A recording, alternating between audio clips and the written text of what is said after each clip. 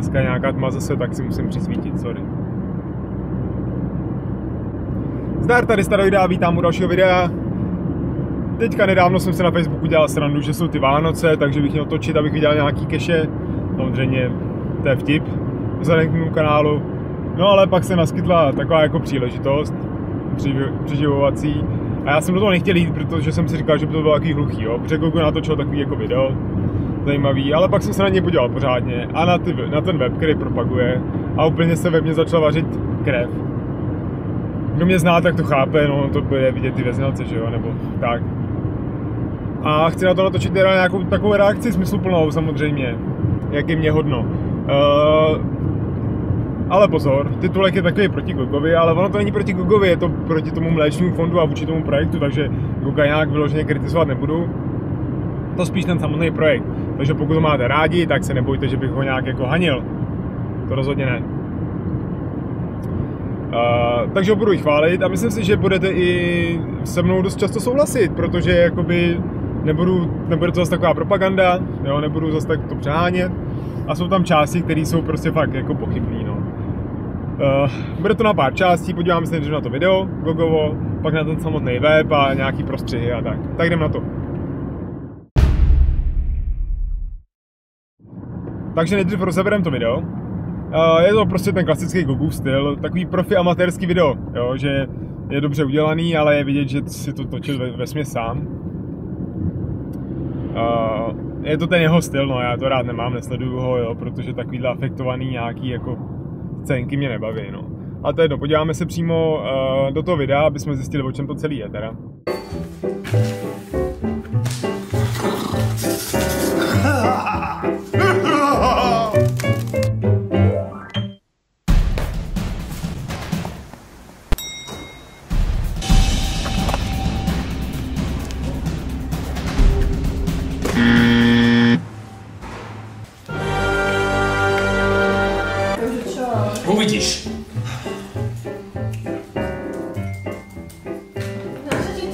Je? Však spávaš.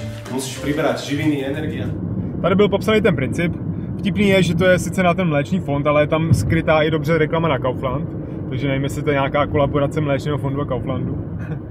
a je to propagace těch slovenských výrobků, k tomu se ještě dostanu. No. A ta první část si pojde, to abyste měli jakoby úvod, uh, ale čím se dostaneme dál, tak bude víc do tujího.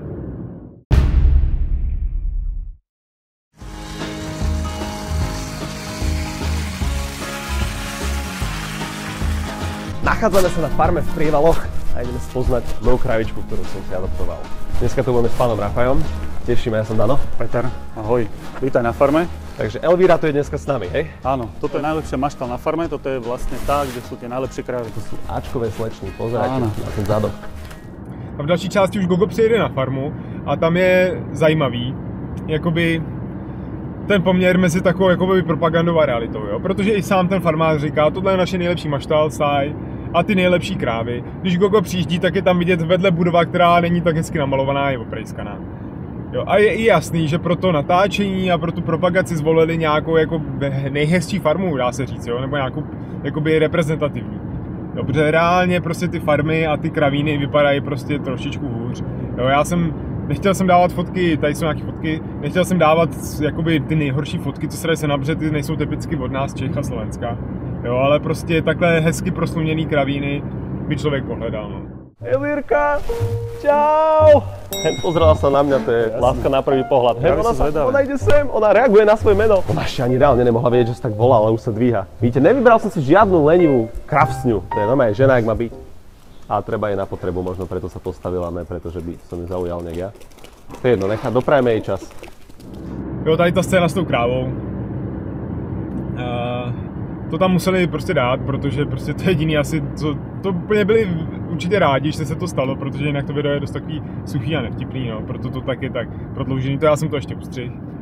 Jo, a i je vidět, v čem ty krávy jakoby žijou, jo, stačí se na to dívat jakoby otevřenými očima, jo, že tam prostě si kadí serou prostě pod nohy, pak se v tom válej, jako v pohodě, teď jako, to není zase tak nic nenormálního.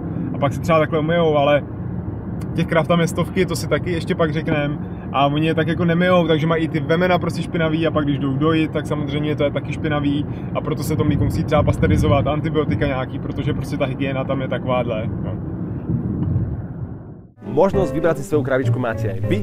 Poprvé, bežte na web adoptujkravičku.sk. Po druhé, registruj sa cez Facebook alebo vyplň svoj e-mail. Už máte svoju kravičku, môžete sa o ňu starať, môžete si ju na nete pozerať. Následne ju dojsť niekedy aj osobne navštíviť. Či už si dohodnete nejaké stretnutie s farmárom, alebo keď bude spoločný termín, nejaké väčšie návštevy. No a když si adoptujete kravičku, tak ji můžete pak naštívit. Jo, samozřejmě to je blbost, jako kdo to udělá, to je prostě taková soutěž, kde zadáte 10 kódů a můžete si jako adoptovat kravičku, to se pak na ten web podíváme a jako kdo takhle bude jezdit, to je prostě takový pozlátko, prostě celý to video, no ale budíš.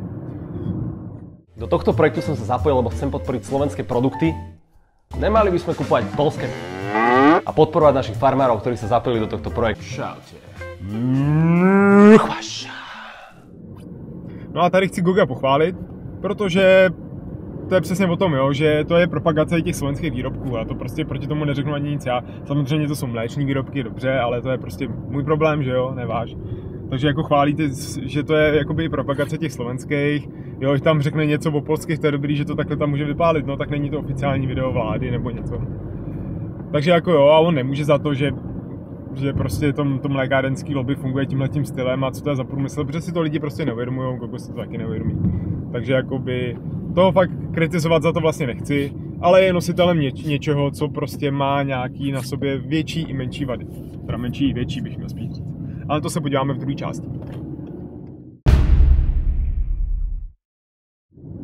V téhle části se podíváme přímo na ten web adoptuj kravičku SK, jo. Protože tam to jakoby vrcholí, jo, jakoby ta manipulace a ty lži, jo, který, jsem, který jsou i v titulku. Protože tam fakt jsou věci, které jsou překroucený a jsou prostě manipulativní, jo, protože tam stejně budou soutěžit hlavně děti a jejich rodiče a prostě, no, uvidíte sami, jo. Ten, uh, ten web samotný je dobře udělaný, jo, jako je, je hezký, přehledný, to se jim povedlo, to už se dneska umí.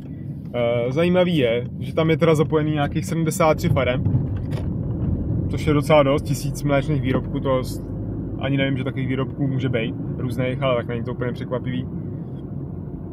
Ta samotná jakoby aplikace, nebo co to je, tak je taková vlastně hra, jo, ve stylu prostě Tamagotchi, kdo si ještě pamatujete, že tam máte jako kravičku a o tu se, o tu se staráte, jo. Ale tady už právě začíná jakoby ta decentní prostě podprahová manipulace, máte tam tu kravičku někde na pastvě v horách, jo, což je situace, v který žije 1% krav, Jo, všechny ty krávy většinou žijou v kravině a na tu trávu se skoro ani prostě nedostanou, jo, takhle. Pak je tam možnost i nějaký uh, zábavy, česání a tohle to, jo, to je... Uh, no nic, jdeme dál radši. Přejdeme do, do části o projektu, což je úplně ta nej, nejhorší asi část. Prostě já nevím, kdo ty texty psal, nebo s, s jakým to je účelem, ale to je fakt až strašidelný, no. Jdem se na to mrknout. Co se teda tady píše? Kravičky nám dávají mléko, jo? To je to klasický základní fígl jazykový. Ty kravičky nám to mléko nedávají, my jim ho bereme. Jo? Kdyby jsme jim ho nebrali, tak ho mají pro ty svoje telata. Jo? Cílem projektu je zvýšit spotřebu mlíka, protože mléčný průmysl začíná mít problémy s tím, jak se obecně začíná žít zdravějc a ty mléční výrobky už tolik nefrčej a jsou různý rostlinný mlíka a takovéhle věci. Takže to musí samozřejmě trošku popohnat dal popis té kravičky, jak teda vyrůstá, jo? že nejdřív to je telátko, pak je to jalovička, uh, pak když má první to telátko, jak to jsou tyhle ty zdrobněliny, aby to vypadalo všechno strašně roz, roztomile, že jo. Takže má to první telátko a pak tam hnedka řeknou, jaký mají barvičky ty kravičky, jo? že už jakoby přeskočí to, co se děje po tom telátku, tak trošku, ale my se k tomu ještě dostaneme, jo. A pak žijou se svýma kamarádkama, a že papa je hlavně travičku a to je přesně ono, jo, zase, to zní tak strašně idealisticky, ale ty kravíny jsou, na, jsou tam jsou samý tyhle ty, ty krávy, co dojejí, tak tam jsou zavřené takhle spolu. Protože bejci, ty jsou úplně stranou, ty žijou někde na pastvách, ty jediný fakt chodí na tu pastvu, protože uh, to je lepší proto i to, že chodí po té trávě, tak mají lepší svaly a lepší maso, že jo, potom. Ale ty kravičky žijou zavřený v těch kravínech a málo která se na tu pastvu fakt podívá. Všimněte si, když jedete někde autem, kolem krav, tak to jsou vždycky bejci. Neuvidíte ani jedno vemeno.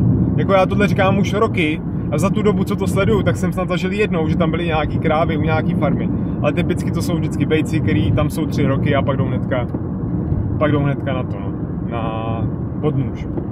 Pak ta další část, jo, že ty hospo, polnohospodáři, že je krmí, že je myjou dobře, tak si dokážu představit, že nějakou hadici je prostě postříkají. Ale že je češou, anebo se s nima hrajou, to je prostě kravina. Klidně mi napište do komentáře, kdo jste někdo z nějaký takovýhleho kravína, větší farmy, že si s těma krávama hrajou, to je taková blbost. A ty krávy přitom jsou hraví. Jo, to jsou videa prostě samozřejmě veganský, jak ty krávy jsou, jak si dokážu blbnout i s míčem a tak. A nikdo se s nima nehraje, nikdo je pořádně nečeše, možná z nich vyškrabávají jakoby nějakou tu špínu, co nejde umýt, to je tak jakoby všechno. No a prostě úplně nejhorší je ten závěr, jo, když se nad tím jenom zamyslíte. Píše, píšou tam, že ta kráva, že žije 10 roků, za turbu má 10 telat a pak odejde do kravského nebíčka. Jo, to prostě jenom, když to kdokoliv čte, tak si to musí, prostě mu to úplně musí docházet, protože kráva je těhotná nebo březí 9 měsíců jako člověk, takže za těch 10 let má 10 tela, to znamená, má vždycky tele, pak má 3 měsíce klid, pak má další. A jak si myslíte, že mají ty telata, to je zase klasika, já do toho nechci moc zacházet. To není tak, že tam přivedou nějaký bejčka, který je obskáče, ale je to prostě umělá inseminace, kdy se jim prostě do, do nich strčejí ruku.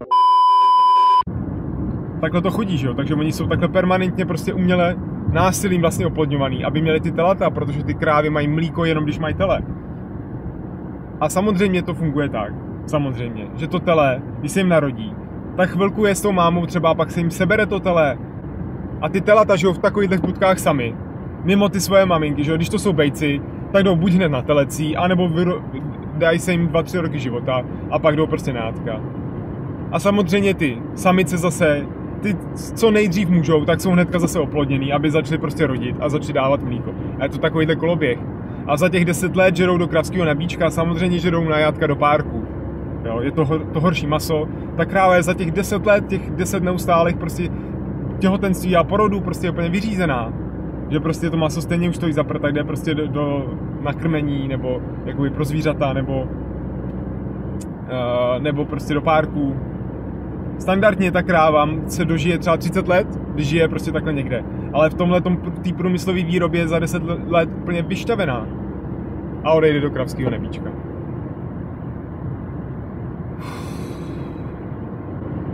Jen takový závěr z toho webu. Jak to funguje ještě s tou adopcí, to jen dojedu, že prostě tam tady je ta mapa, kde jsou ty farmy, je jich tam zapojený těch 70. Vy si kliknete na tu farmu, kde si můžete adoptovat ty krávy Samozřejmě ty fotky, co tam jsou, tak to jsou nějaký generický hlavy kráv, nejsou to ty krávy, co si adoptujete. A všimněte si těch jmén, to není žádná Elvíra, to jsou prostě SKN 00183256, tak si to jméno asi můžete pak dát sami, jo. Ale pak si za tou krávou můžete zajet, tak kdo ví, jakou krávu vám ten farmář ukáže, jo. To je prostě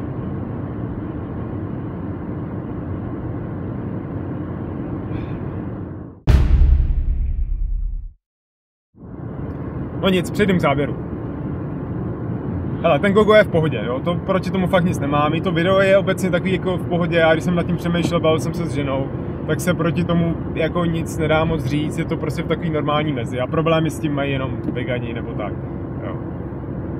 A taky eh, u nás ty krávy se mají docela dobře, jo, v těch kravínech a u nás ta veterina funguje dobře, na Slovensku to je snad podobný že opravdu jakoby se ty krávy i dostanou třeba ven, mají tam to sluníčko, jo, takový ty nejhorší zkazky, co vegani používají ve své propagandě, jsou hlavně z Ameriky a z Austrálie, v Austrálii je to úplně nejhorší, jo, co se týče toho zacházení se zvířatama, protože pak, nějaký otřesný záběry z kravínu to nejsou od nás, jo. takže to je taky v pohodě. Kam jsem ani nezašel, proč vlastně s tím problém, proč vegani řeší mlíko a tak. Co je problém s tím mlíkem, kromě toho, že to je takhle to trápení a týrání těch krav, taky to mlíko samotný je prostě problematický pro organismus, protože já to už je dokola. Když tak jsem točil video, kde jsem eh, takový kritiku jednoho pediatra pomíleného nedávno, určitě na konci je pak playlist veganský, tak tam si to najdete. Ale člověk typicky má schopnost strávit ty mlíční bílkoviny do pěti let, jako když jsou malí děti, a pak mu to mizí. Jo. A je asi 20% populace, který mají vlastně genetickou odchylku, že můžou to mlíko trávit celý život. A všichni ostatní s tím mají větší nebo menší problémy. Jo. Intolerance na laktózu je docela rozšířená. A pak takový problémy, co si nikdo ani nevědomí, že třeba má různý trávicí problémy, neví, že to je z mlíka. A někomu ani nechutná, někdo by nevypil sklenici mlíka, to znáte, že jo? A někdo to zase vypije, jo. Ale to mlíko se těžko tráví a ten vápník tam sice je, ale to je lepší z něčeho, co se prostě tráví líp. Ale mě tam prostě štve ta propaganda, jo? Ta manipulace, jak to je prostě podaný. Aby se vytvářel tenhle dlouhodobý prostě tohle paradigma toho, jak je to v pořádku, to jedení masa a, je to zam, a mlíka teda. Jo, je to zaměřený prostě hlavně na ty děti, jo, že to je, už od mala jsou prostě takhle masírovaný. Vidějí na těch obalech ty usmívající se kravičky a kráva Milka kráže někde v Alpách a přitom ta realita je mnohem prostě taková krutější, jo. A to se týče i toho masa, kdy se už od pěti měsíců dětem cpe prostě maso do příkrmu, aby si na to hezky zvykli a tak. Jako klidně jste maso, maso a mlíko, ať se to jí, to já ne, neříkám, ať to nikdo nejde, co všichni vegani. Jo, to už je moc extrémní. Jo, ale prostě tyhle ty keci kolem toho a to, jak to je prostě takhle manipulovaný, to je to, co mě štve nejvíc.